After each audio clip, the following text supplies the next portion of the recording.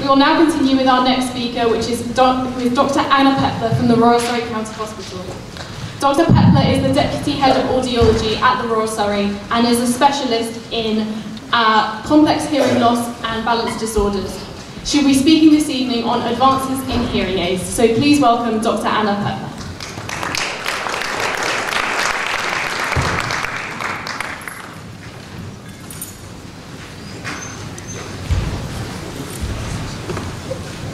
Good evening, and thank you for being here for my hearing aid talk. But many of you may be wondering why I'm here talking about hearing aids at a tinnitus event. But don't worry, the answer is simple. Hearing loss and tinnitus are strongly linked to together, with over 50% of people with tinnitus having hearing loss. And therefore, many of you with tinnitus will be wearing hearing aids.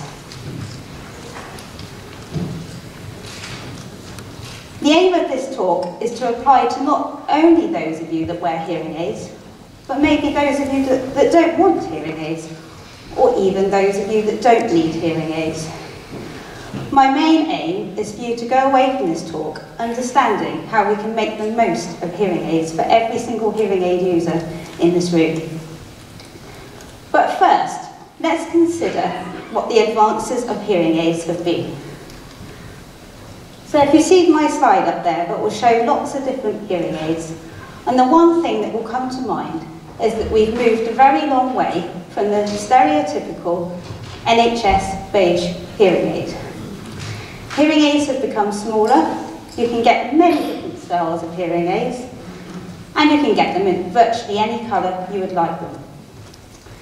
There's one drawback of this. Hearing aids have become so small that often my patients will come to me and say, they're so fiddly, I don't know that I can change the volume control or the program button on this hearing aid. But don't worry, manufacturers have come up with a solution for this. Remote controls can be kept in your pocket and you can adjust the volume control or programs without having to worry about finding the buttons on your hearing aids. The other problem with small hearing aids is that the batteries are also very small, easy to get lost, hard to put in the hearing aid, and obviously, of course, if you're out and about, it's always the time when you need a battery, but it isn't in your bag. So, the latest technology offers rechargeable batteries, and therefore you can just pop your hearing aids in these rechargeable batteries at night, and they will be fully charged in the morning. The other advantage of this is environmental, obviously not using batteries, which is obviously a really important thing that we're thinking about at the moment. Um, but also, in terms of batteries not being available and around people that may be at risk of swallowing them. So that's the main change in what hearing aids have looked like. But there's been a massive change in technology over the years in what hearing aids can and can't do. Most hearing aids now offer you a volume control, and volume controls not only come in the version of going up and down, but they can adjust the frequency range, so you can get a more bassy sound or more high frequency sound. Hearing aids also offer a huge range of program options, normally four or five program options on the hearing aid, and you can get programs from speech in quiet, speech in noise, music, the loop system, pretty much the situation you're in, there's a program for it. In the past, hearing aids were renowned for whistling, but with the latest technology, with feedback managers, very few hearing aids will whistle. And if you do hear a whistly hearing aid, the main cause will usually be, be wax in the ears or the hearing aid not fitting properly. We naturally have two ears, and very often in the past, hearing aids just worked on their own. But nowadays, with wireless connectivity, hearing aids can talk to each other, which allows hearing aids to make the most of our two ears and talk to each other and compare the information coming in from each ear. As Mr. Valentine mentioned earlier in his talk, most people's hearing losses are in the high frequencies. And frequency compression is a fairly new technology which considers this. So in a lot of cases, when people have a very high frequency hearing loss, it's very difficult to give them enough amplification from their hearing aid to give them any good quality of hearing. Therefore, frequency compression is designed to lower the frequencies of the sounds so those people with poor high frequency hearing can still hear them. Then we've got noise management. So this is an area that manufacturers have been working on for many years and is still a developing area. And the problem with noise management is the hearing aid has to distinguish what is speech and what is noise. And hearing aids are getting better at that. But the difficulty is, if you cut out too much noise, inevitably you are going to cut out some speech.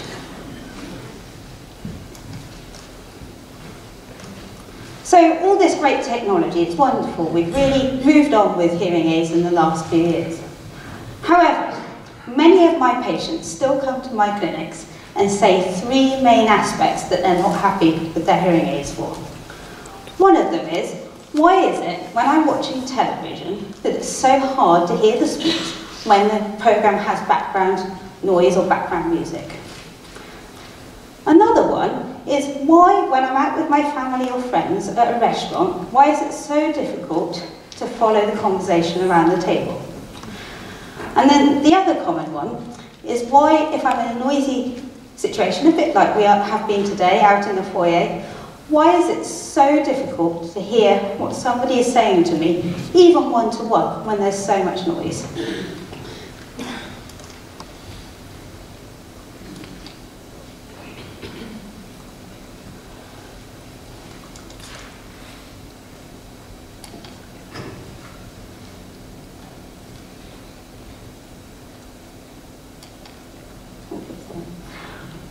But why is this the case, that people come to me so often with these problems. It's because of the directional microphones. And I didn't mention the directional microphones on my previous slide. Directional microphones aim to focus on the person you're trying to speak to. In the past, hearing aids were designed to pick up everything around you, 360 degrees. But nowadays, hearing aids have been developed to focus on, say, if you want to hear that person over there, the hearing aids will zoom in on that person. And that will help you to hear when you're trying to speak one-to-one -one with somebody. But unfortunately, directional microphones only work over a two metre distance. So if I was trying to talk to someone over there, the directional microphone will not focus on that person and will still pick up all of the sound around me. And therefore it makes it really difficult, if there's even a little bit of noise, to hear with your hearing aids in that situation and focus on that person speaking.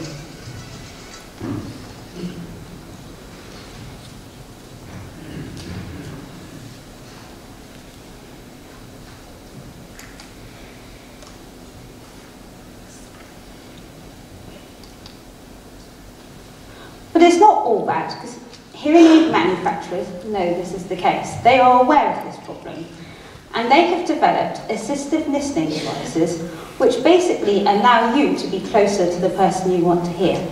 So although you can't always be within two metres of the person you want to hear, you can place a device much closer to them and that device can link up with your hearing aids. And essentially, the assistive listening device is designed to reduce the barrier of distance. And many of you today are using a very long established assisting device, listening device to hear me, the loop system. And essentially, my voice is going through this microphone to the electromagnetic loop around this room, and that sound is then being sent straight to your hearing aid, assuming, assuming that your hearing aid is on the loop program. So manufacturers have developed devices that are a bit like the loop system, but rely on Bluetooth signal instead. Because unfortunately, the loop system cannot go everywhere with you in a noisy situation. Imagine a restaurant situation. If you had a loop system in a restaurant anyone that connected to the loop system would hear whoever was talking into the microphone. And then if you go to meetings or events, it's not always, plausible for that situation to have a loop system. So instead, we've got these assistive listening devices that link up with Bluetooth.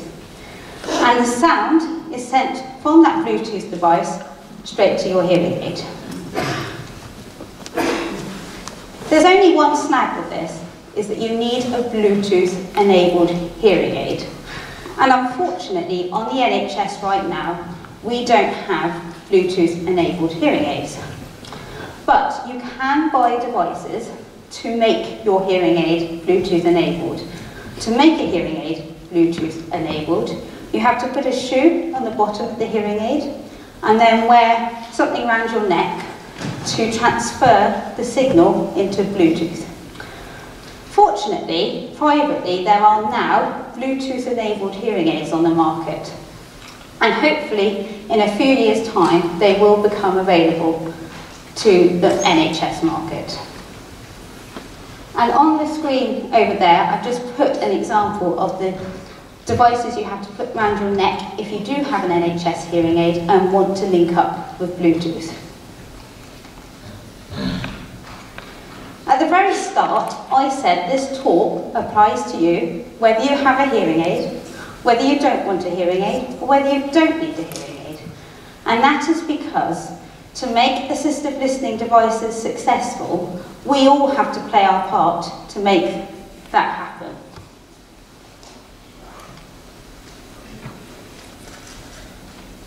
So I've got a few scenarios which I've come across in my clinics lots of times of where assistive listening devices can make a big difference to hearing aid users' lives. So the first scenario I have is Mrs. Smith. She likes to go to yoga and art classes. She lives alone and this is her only way of socialising. Unfortunately, she has been wearing hearing aids for a long time and in recent times, she has started to struggle to follow the teacher in these classes. And it's got to the point where she thinks, well, I really can't go to this, these classes anymore. I can't follow what's going on. For her, an assistive listening device would help her. So she would need to give the teacher a microphone, like the microphones on the screen there, to wear. And that microphone could send the teacher's voice straight to her hearing aid, assuming it's Bluetooth enabled. And that would work brilliantly. But there are some barriers to this, and this happens regularly to people. The first is that Mrs. Smith needs to feel confident enough to go up to that teacher and say, would you mind wearing that microphone for me? The other is that Mrs. This teacher needs to feel comfortable to wear that microphone. This may sound straightforward, but a lot of people have an anxiety about this, partly because they worry what the teacher will think when they have asked the teacher to wear a microphone. Also, what, what is that microphone? Is it a recording device? People don't, aren't familiar with them. But if that teacher wears that microphone, that will allow Mrs. Smith to continue to go to her classes and not only enjoy her classes, but it's her social interaction during her week.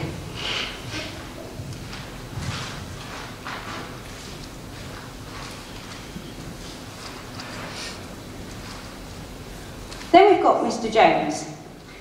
He is a committee member for, for his local village hall. He's been doing this for many years, but he's got a hearing loss, and he's just started wearing hearing aids.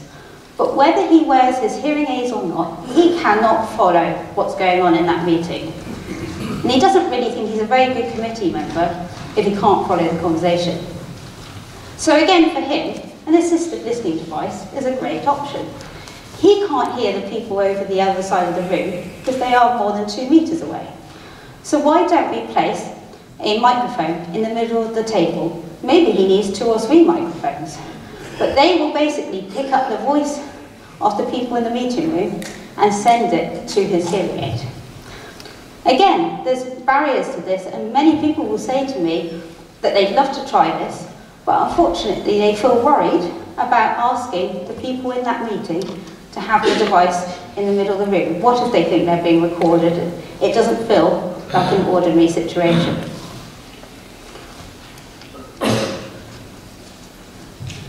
Then we've got Mrs. White, who works as a secretary in a company and she's really struggling to hear on the phone. And therefore, she feels she can't do her job properly. But she doesn't want to make a fuss, she just wants to get on with her job, and she, she doesn't want to make her employers think she's not doing a good job. So she's just carrying on, struggling with her phone. But again, she would really benefit from an assistive listening device. For her, she could have a telephone with a loudspeaker. That might make help her hear better. But then everyone else is going to hear the conversation. She could have a telephone with the loop system in it, but she would still have to hold the phone to her ear. What she could have is a phone that's designed to work with Bluetooth, which sends the signal straight to her hearing aids. And a benefit of this is it sends the signals to both hearing aids, and therefore she can make use of, as we said earlier, two ears is better than one. And also, she doesn't need to hold the hearing aid, the telephone to her ear. But as we said, she's not confident to ask her employers for help, she can't afford to buy this phone. So what does she do? Well, there's a government-funded scheme called Access to Work. And Access to Work provides grants for people in employment, whether self-employed, full-time, part-time, and essentially will provide equipment to help people stay and work. So in Mrs. White's situation, she could ask her employer to consider the Access to Work grant and therefore get this phone, potentially the hearing aids be, upgraded to become Bluetooth enabled, and therefore she continues to do her job well and not to struggle.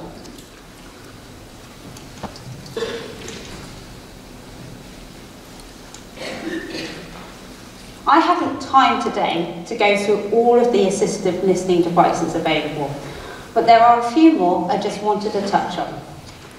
Firstly, you can get assistive listening devices that link the television to your hearing aids.